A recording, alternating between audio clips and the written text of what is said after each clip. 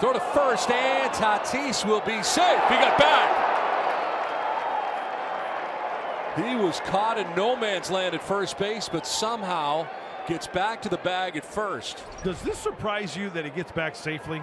Shuffle, he wanted to go, snap throw.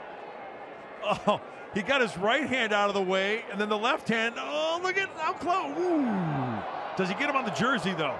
To the swim move right there. Yeah, he did. Wow. They're going to challenge this. Diamondbacks are challenging. You know, that was one heck of a slide back, but, but, stay tuned to this one. It looks like, does he get the jersey before?